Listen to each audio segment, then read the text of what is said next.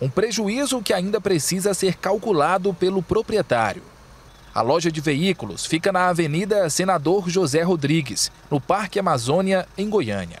Segundo o Corpo de Bombeiros, o incêndio ocorrido na madrugada desta sexta-feira atingiu vários veículos. O dono, que chegou durante o combate às chamas, disse que 10 carros foram afetados pelo fogo. O incêndio começou antes das 3 horas da manhã.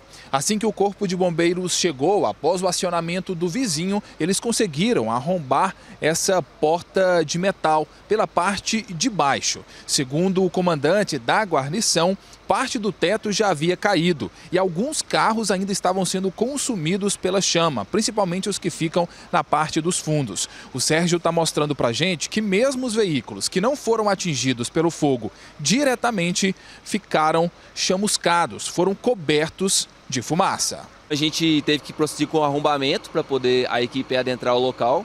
A gente está só ali fazendo rescaldo, esfriando os veículos que pegaram fogo para poder não ter mais zero risco, né? Para ter mais nenhum risco de, de voltar esse incêndio. Quando a corporação chegou, o teto da loja já havia caído.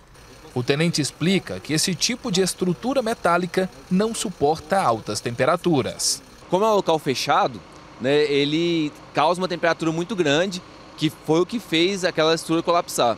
É, até porque, por fato de ser fechado, foi o que deve ter causado essa demora de sair fumaça e de alguém perceber. Foi o Kesley que ligou para os bombeiros.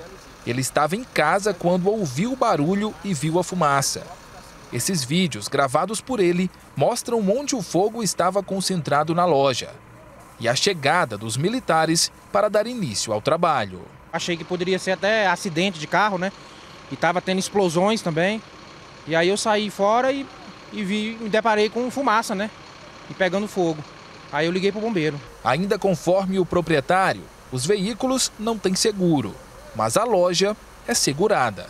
Um dos carros mais caros, uma BMW avaliada em 280 mil reais, também queimou. A loja vai completar dois anos em dezembro. O prejuízo estimado pode ultrapassar um milhão de reais. Apesar dos danos materiais, ninguém se feriu.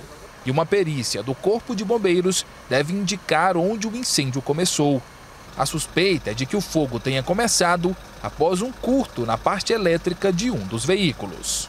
Vai chegar aqui a perícia, vai poder fazer essa investigação e levantar possíveis causas.